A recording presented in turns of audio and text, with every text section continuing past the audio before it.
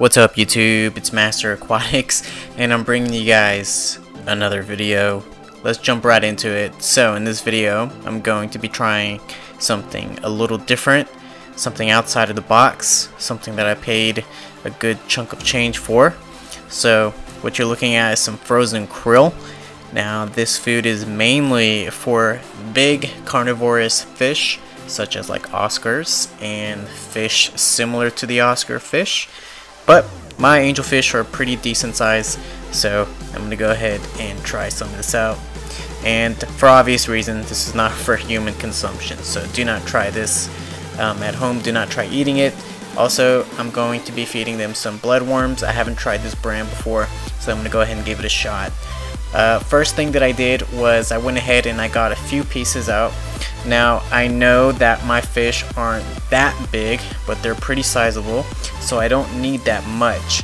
And I know that they're not going to eat the krill whole. Um, so what I planned on doing was defrosting them a little bit, so I threw them in some warm water. And when I took them out of the cup of warm water, um, there was some leftovers in the cup and I wasn't planning on feeding them that stuff. Didn't seem healthy. So once they were nice and defrosted and not rock solid, I went ahead and I started cutting them into pieces.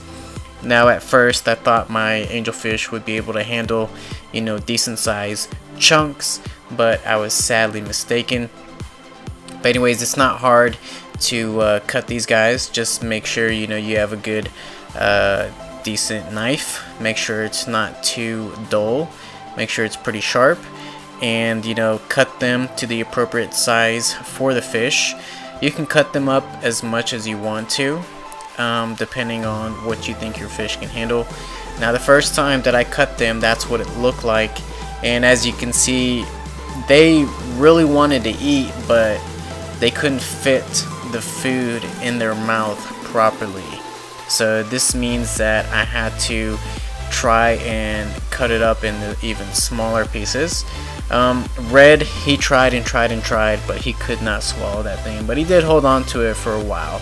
It was like watching a dog chew on the bone for quite some time.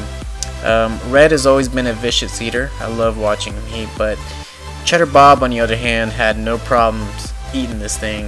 Uh, I mean, it took him a few tries but eventually he did end up eating it. Cheddar Bob is definitely the angelfish in the aquarium that has the biggest appetite. He's always willing to eat. He does not stop. He's like a vacuum cleaner in the aquarium.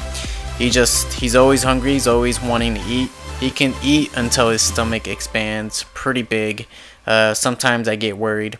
Anyways, I wanted to make it easier for them, so I went ahead and uh, turned it into like this chum substance. Kind of looks like throw up and this is what it looks like. It's like uh, pretty much like particles and chunks. Well now I wouldn't say chunks but sort of like chum you know? And I figured maybe they'll like it better like this but it turns out I cut it up way too much and they didn't even bother going for it. Um, they really like the fleshy stuff the meaty stuff um, in small chunks. I know red and cheddar bob do. Uh, the other fish they didn't really seem to go after it too much. Uh, the Philippine Blue, he was a little bit interested in it. The Gouramis were uh, interested in it, but uh, my koi angelfish, not so much. And I believe behind the scenes, the Corydoras, they were definitely going after that stuff as soon as it hit the uh, aquarium floor. But um, the reason why I have the bloodworms as backup, it's because I know that there's a good chance that my fish might not like eating the krill. Um, keep in mind this is the first time they're trying out this food. Um, fish can be very picky, so it's always good to have a wide variety of foods. Um, the reason being fish are picky, it's because fish were raised in certain ways like for example not everybody feeds their fish the same thing uh, some people just feed their fish like angelfish bloodworms.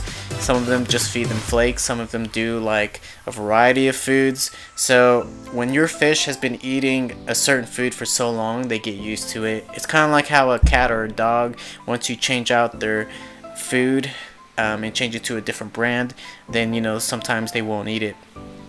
Fish are the same way, so don't get them wrong. But these two, on the other hand, they are always willing to eat no matter what. They will eat everything. As you can see, I went ahead and I put that stuff in there and the silver one went after it right away. The uh, German went after it right away. They never hesitate to go after food. Uh, they never take food for granted, so they eat what they can. And I think that's the reason why they are the biggest angelfish out of all the angelfish that I have. If I was able to put that silver veil angelfish back into the 125 gallon tank, he would cause some problems for the other fish in there, most definitely. Um, I'm pretty sure he can. He has more strength. He definitely has more size. Uh, his color is not all that great, but he definitely has some really good finnage, and that's why I'm really excited to see how my baby angelfish in the 20 gallon tank turn out. Uh, these are the pair. Um, I personally like the male better than the female. The male again is the silver veil, which is the one on the right.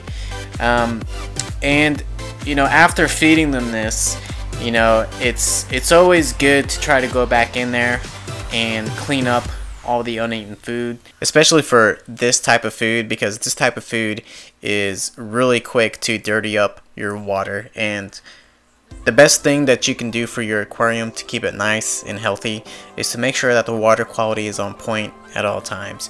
You never want to have the water quality drop for a long period of time and to do that to keep a consistency of good water quality is to be consistent about keeping the water clean and you know feeding is fun it's also something that you have to be responsible with you know when it comes to feeding your fish. Uh, the reason being is because you know it's very easy to overfeed your fish. You know fish don't have something in their brain to let them know that they've eaten enough. Um, sometimes fish can just eat eat eat eat until you know they pretty much die. You know they can they can overeat. You know it's a real thing. It's not a myth. Um, so and another thing that you need to be responsible when it comes to feeding is making sure that you don't overfeed because if you overfeed not only can your fish eat way too much and die but in the case that they don't eat too much and get sick or whatever and pass away you know your water quality can go to crap. You know excuse my french. And if that happens then you know the fish are more prone to getting diseases they're more prone to getting sick. Uh, nitrates go up, um, and a lot of imbalances will happen in your aquarium. And you know, your aquarium is like a small ecosystem, you know, and you got to make sure that you take care of it. You know, if you got plants in there, you know, that can bad water quality can also affect plants too. So keep that in mind. Um, but other than that, you know, if you're feeding them responsible, then responsibly, then just ignore what I just told you in the past few seconds.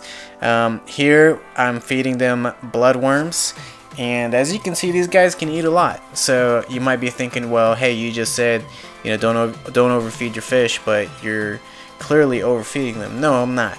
Um, I'm taking into consideration how many fish is in there and I'm also taking consideration how big they are. Uh, the bigger the fish the more that they can eat um, the more fish that you have in the aquarium, the more food that you can put in there.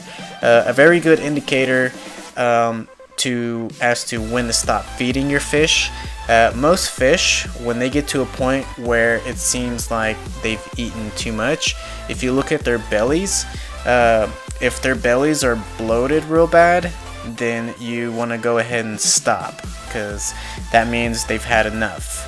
Um, everybody's eating in this tank, but Discus, he's just, I don't know, he's just a shy eater. He never eats whenever we're around. I think he waits until the coast is clear and then the Discus goes ahead and eat. But uh, yeah, so um, feeding time is the best time when it comes to the hobby because that's when you actually get to see your fish interact with food and uh, it's even better when it's live food. Um, and it's just fun to watch. It's also fun, you know, to observe and just see how your fish um, eat and you know how they act, how they act with other fish when there's food around. You know. Um, anyways, hopefully you guys enjoyed the video. I think I've rambled long enough. I really appreciate the support. Until next time, guys, I'll see you in the next video. Take care and happy Monday. Bye.